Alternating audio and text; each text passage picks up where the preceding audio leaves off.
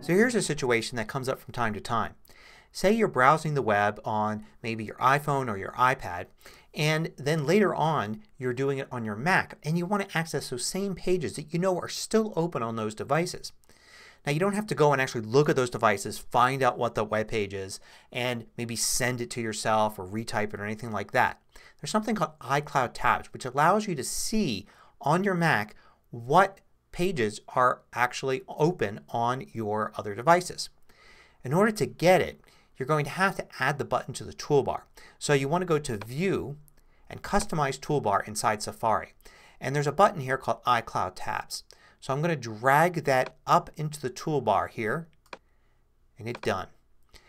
Now when I click on iCloud Tabs here it brings up a list. And you can see here in this list I've got on my iPhone I've got two web pages open, MacMost and Internet Archive. And on my MacBook I've got Wikipedia and the Apple homepage. I could jump right to any of these pages just by selecting it. So we'll click on the one that's on my MacBook. So you can easily access what's available on those other devices. Now this works two ways.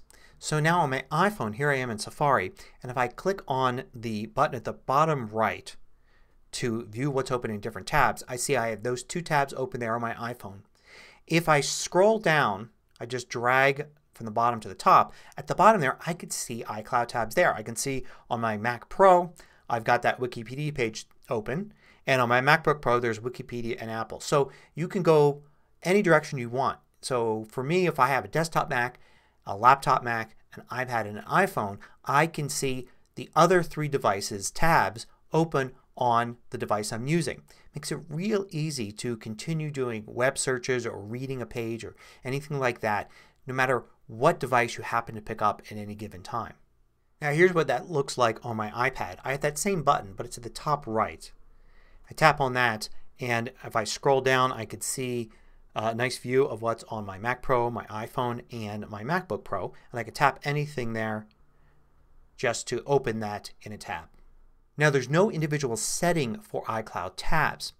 So on your iPhone or iPad you want to go into your settings app then go into your Apple ID, tap iCloud, and then just make sure Safari is turned on. Likewise, on your Mac in System Preferences, you go to iCloud and you make sure Safari is turned on there as well.